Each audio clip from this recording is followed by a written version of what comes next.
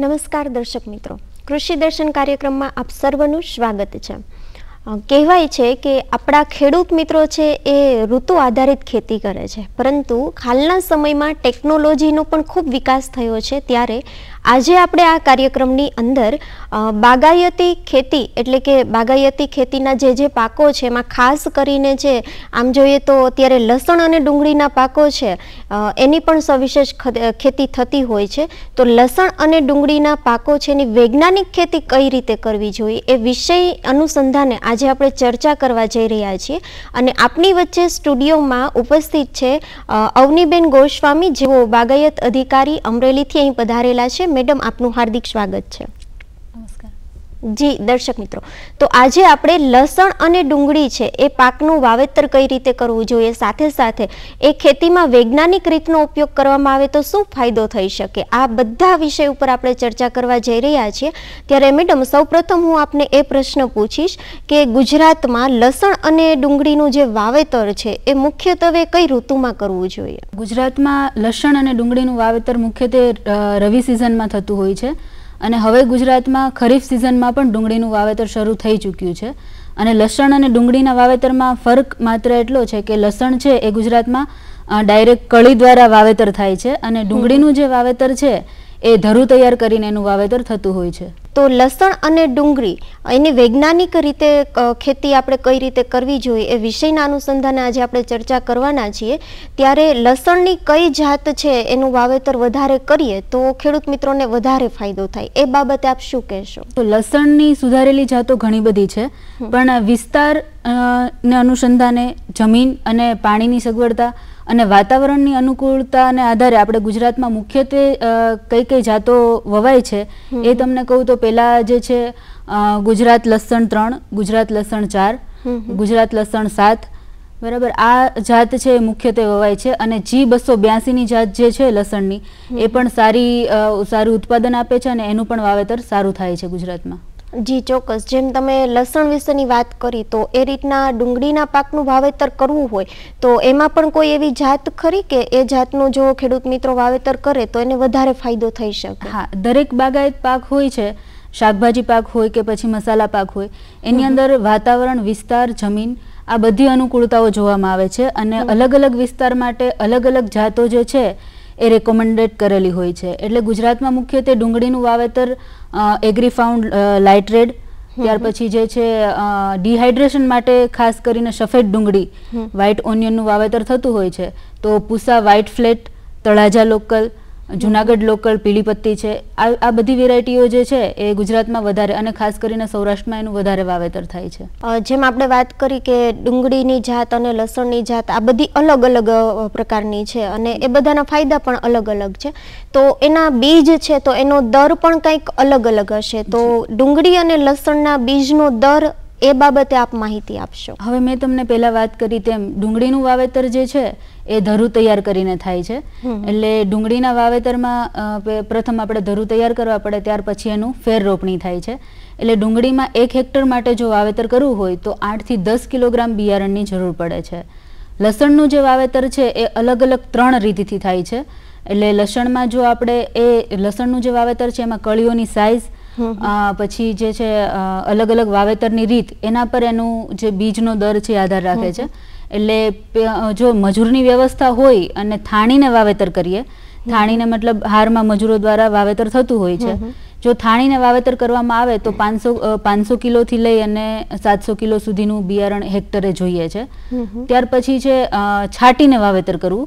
છાંટીને generally કોઈ ખેડૂતો વાવેતર કરતા નથી હોતા કારણ કે અત્યારે ટ્રેક્ટર જેવા સાધનો ઉપલબ્ધ હોય છે એટલે ઓરીને વાવેતર ખેડૂતો કરે છે. જો ઓરીને વાવેતર કરવામાં આવે તો આઠસો કિલોગ્રામથી લઈ અને નવસો કિલોગ્રામ સુધીનો જે કળીઓ છે એ એક હેક્ટર વાવેતરમાં મર્યાદિત જોઈએ છે. તો મેડમ આટલી સરસ તમે માહિતી આપી છે તો ક્યાંક એવું પણ બને છે કે ખેડૂત મિત્રો છે ખૂબ સારી રીતે છે હમણાં જે તમે બે ત્રણ રીતની વાત કરી કે કોઈ છાંટીને બીજનો છંટકાવ કરીને છે વાવેતર કરે છે આ બધું કર્યા પછી બીજનું સારું એવું ઉત્પાદન થઈ શકે એ માટે આ પાક માટે છે માવજત કઈ રીતે રાખી શકાય? જી. હવે પ્રથમ તો આપણે કોઈ પણ શાકભાજી હોય મસાલા પાક હોય કે કોઈ પણ પાક હોય વાવેતર કરતા પહેલા બીજ માવજત આપવી ખૂબ જ જરૂરી છે. કારણ કે જમીનજન્ય રોગ છે ફૂગજન્ય રોગ છે આ બધી વસ્તુ અટકાવવા માટે બીજ માવજત આપવી ખૂબ જ જરૂરી છે. એટલે લસણમાં હું વાત કરું તો લસણમાં જે કળીઓ હોય છે બરાબર એમાં ફૂગનાશકની માવજત આપવી જોઈએ. એટલે એના માટે એક કિલો લસણની કળી હોય એમાં એક કિલોગ્રામ મેન્કોઝેબ દવા અને પાંચ કિલો શંખજીરું હમ હમ. આ મિક્સ કરી અને પ્રથમ એની સૂકી માવજત આપવી જોઈએ. ત્યારબાદ એનું વાવેતર કરવું જોઈએ. જેના કારણે ઉગાવો પણ સારો મળે છે અને જમીનજન્ય રોગો છે એ પણ નથી થતા. ડુંગળીની વાત કરીએ તો ડુંગળીની અંદર પણ એક કિલોગ્રામ જ્યારે બિયારણ હોય ત્યારે બે ગ્રામ થાઇરમ દવા આવે છે. એની માવજત આપવી જરૂરી છે. એની માવજત આપવાથી ડુંગળીમાં પણ ઉગાવો સારો મળશે અને રોગ જીવા રોગ લાગવાની શક્યતાઓ નહીવત રહેશે. અને ત્યાર પછી જે છે તમે કીધું એમ કે વાવેતર કર્યા પછી પણ સફળતાઓ ઓછી મળે છે. તો ખાસ કરીને લસણના વાવેતરમાં પણ જે વાવેતરનું અંતર છે એનું ખાસ કરીને ધ્યાન રાખવું જોઈએ. જનરલી ખેડૂતો દસ દસ બાય પંદર સેન્ટીમીટરના અંતરે વાવેતર કરતા હોય છે જે યોગ્ય છે. મેડમ હમણાં તમે વાત કરી કે ક્યાંક છે એ ચાસ પાડીને એ રીતના પણ વાવેતર કરવામાં આવતું હોય છે. તો ખાસ કરીને ધરુવાડિયા કરીને પણ વાવણી કરવામાં આવતી હોય છે. તો પહેલા તો આ ધરુવાડિયા શું છે એમના વિશે માહિતી. આપશો. હવે મેં જેમ કીધું તેમ લસણનું વાવેતર આપણે સીધું જ વાવેતર થાય છે. અને ડુંગળીના વાવેતર માટે આપણે ધરુ તૈયાર કરવા પડે છે. ધરું ધરુ તૈયાર કરવાની જે સ્પેશિયલ જગ્યા છે એને આપણે ધરુવાડિયું કહીએ છીએ. એટલે એક હેક્ટર વિસ્તારમાં જો ડુંગળીનું વાવેતર કરવું હોય તો ચારથી પાંચ ગુઠ્ઠાનું ધરુવાડિયું તૈયાર કરવું પડે. ધરુવાડિયું તૈયાર કરવા માટે પહેલા જે છે એને આપણે ચારથી પાંચ મીટર લંબાઈના અને એક થી દોઢ મીટર ઊંચાઈના ગાદી ક્યારા બનાવવા જોઈએ. ગાદી અને વચ્ચે એમાં પાણીના નિકાલ માટે નીક પણ રાખવી જોઈએ. આ રીતે ગાદી ક્યારા તૈયાર કરી અને આપણે જે એ જે વિસ્તાર છે એને ચોક્કસ જે વિસ્તાર છે કે જ્યાં ધરુ તૈયાર થાય છે એને ધરુવાડિયું કહીએ છીએ હવે એ વિસ્તારની પણ આપણે પહેલા વાવેતર કરતા પહેલા એટલે કે ધરુ માટે બિયારણ નાખતા પહેલા.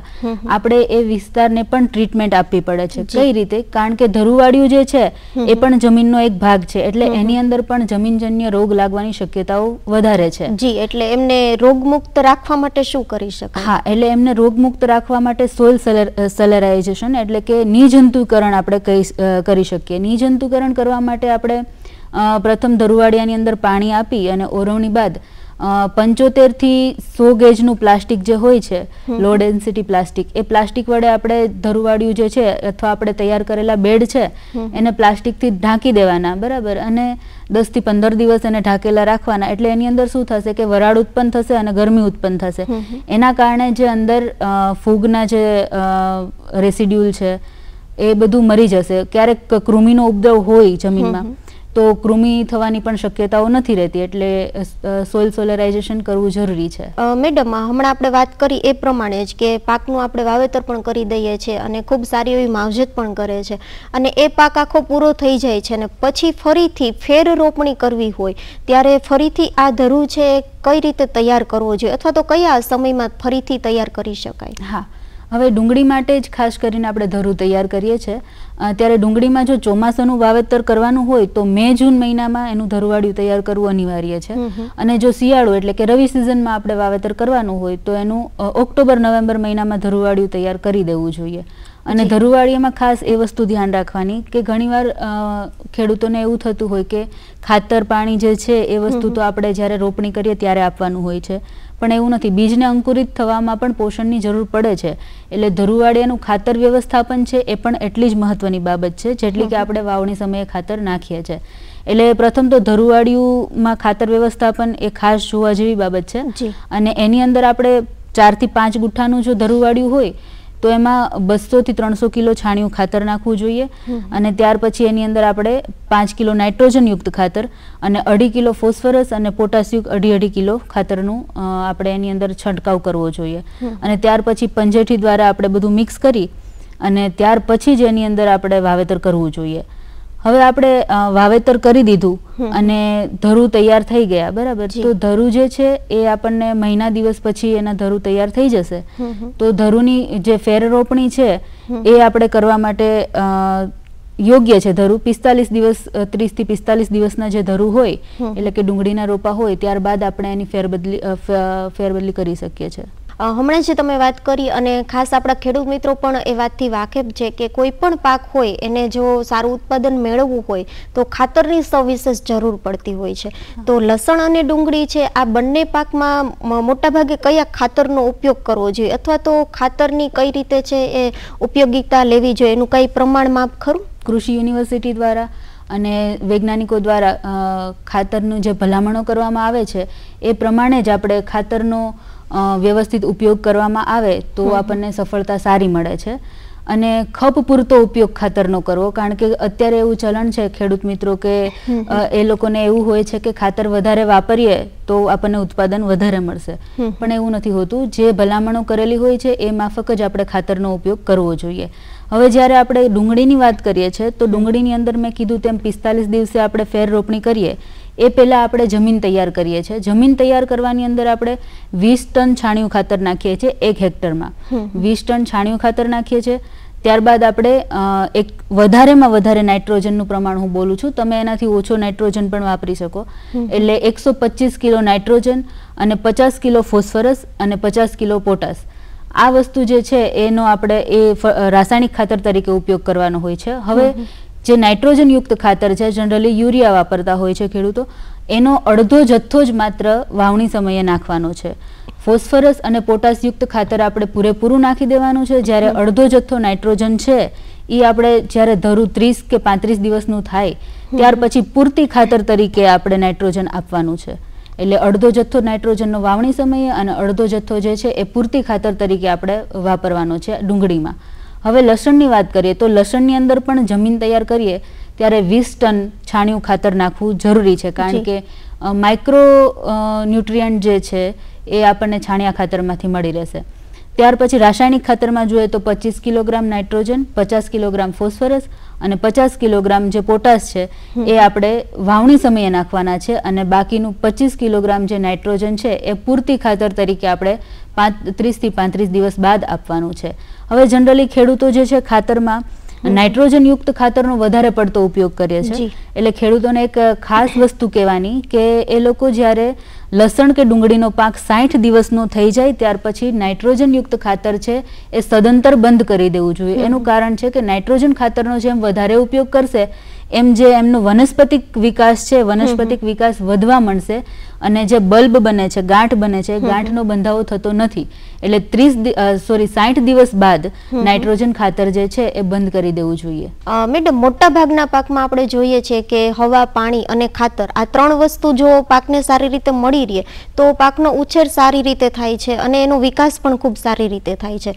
તો એ જ રીતે લસણ અને ડુંગળી છે તો એની અંદર છે એ પાકને કઈ રીતે પાણી આપવું જોઈએ અથવા તો પિયત વ્યવસ્થા કેવી રાખવી જોઈએ? જરૂર. લસણ અને ડુંગળીની અંદર ચૌદ પિયતની ભલામણ કરવામાં આવી છે.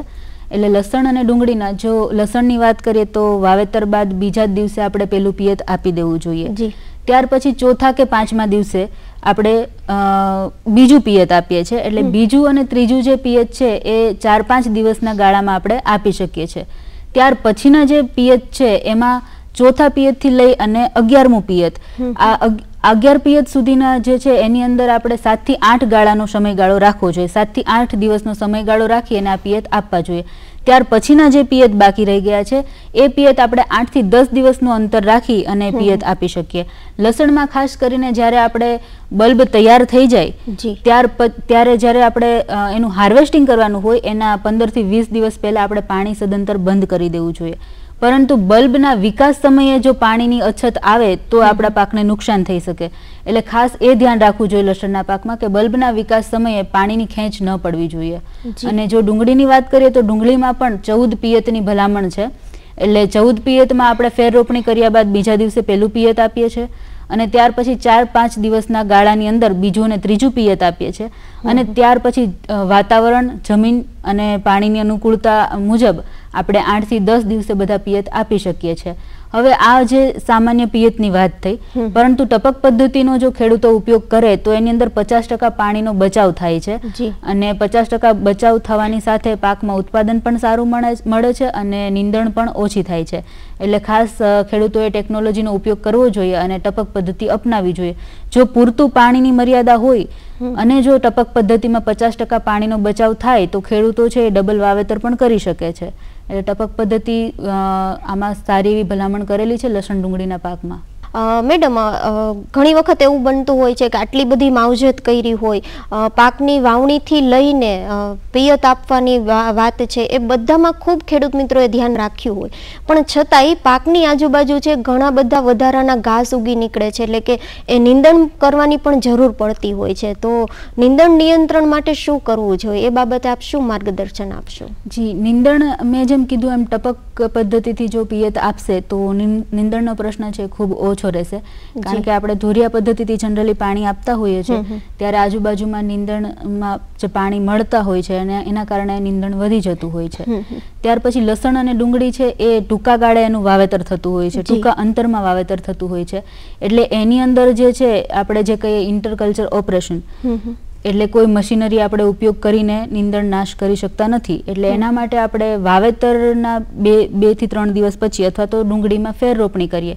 એના બેથી ત્રણ દિવસ પછી નીંદણ નાશકનો ઉપયોગ કરવો જોઈએ. નીંદણ નાશક તરીકે આપણે પેન્ડીમિથાલિન છે ફ્લુક્લોરાલિન છે આ જે વસ્તુ છે એનો નવસો ગ્રામ સક્રિય તત્વ પ્રતિ હેક્ટર આપણે ઉપયોગ કરવો જોઈએ. વધારે પડતા પ્રમાણમાં પણ એનો ઉપયોગ ના કરવો જોઈએ.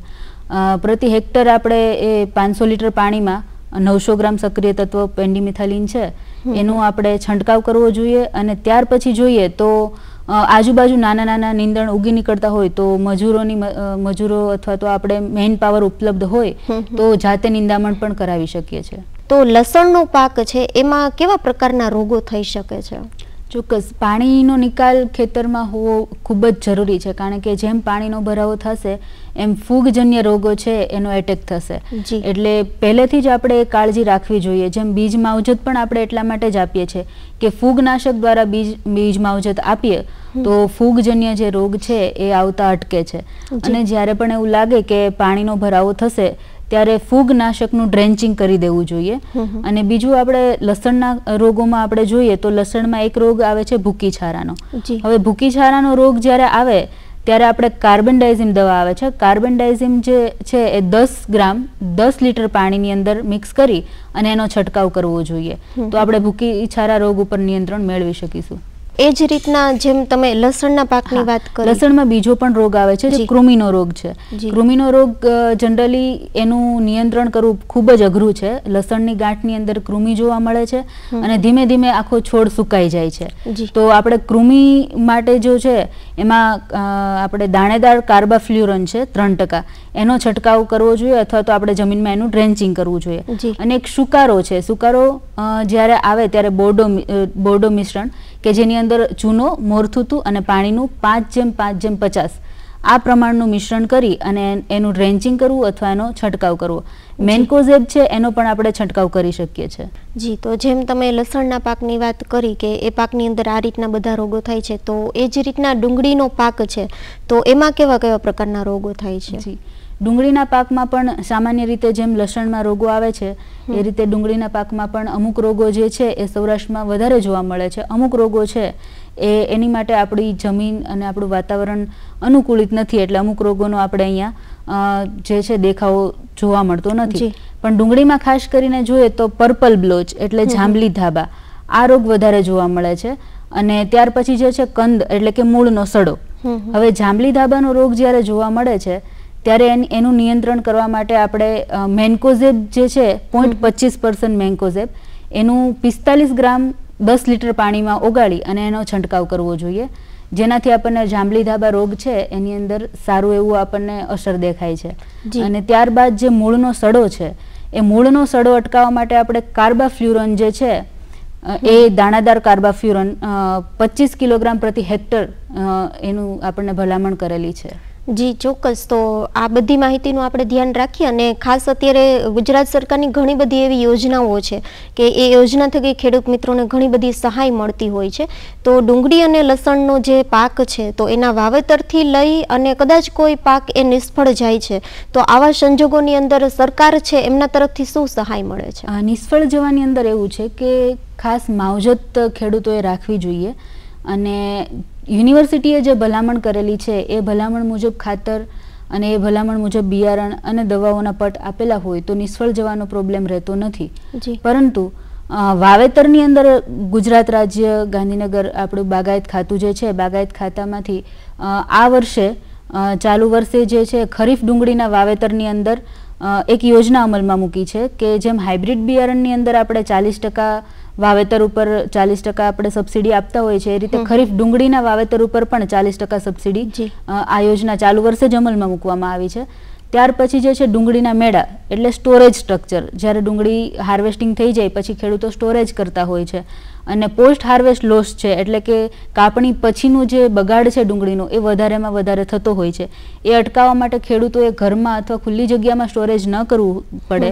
એના માટે થઈને ડુંગળીના મેળામાં પણ આપણે બાગાયત ખાતા દ્વારા સબસિડી ચાલુ વર્ષે પણ છે અને વર્ષોથી ચાલુ આવી છે. અને ત્યાર પછી લસણ ડુંગળી બંનેનું પ્રોસેસિંગ કરવું હોય ડિહાઇડ્રેશન કરવું હોય કે પ્રોસેસિંગ કરવું હોય તો પ્રોસેસિંગ યુનિટમાં પણ સરકાર સબસિડી આપે છે. એના માટે જિલ્લાની બાગાયત કચેરીનો સંપર્ક કરવો. જી ચોક્કસ દર્શક મિત્રો ખેડૂત મિત્રો ખાસ કરીને છે તમારા જિલ્લાની બાગાયત કચેરી છે એમનો તમે સંપર્ક કરશો તો જે કંઈ સહાયની યોજના છે ખાસ કરીને ચાલીસ ટકા સબસિડીની સહાય યોજના છે તો આપ એમનો ભરપૂર લાભ લો એવી આશા સાથે જ અને ફરી એક વખત અવનીબેન ગૌસ્વામી જેઓ બાગાયત અધિકારી અમરેલીમાં છે આપ સ્ટુડિયોમાં પધાર્યા અને લસણ ડુંગળીની વૈજ્ઞાનિક ખેતી વિશે છે એ ખેડૂત મિત્રોને ખૂબ સારી માહિતી આપી.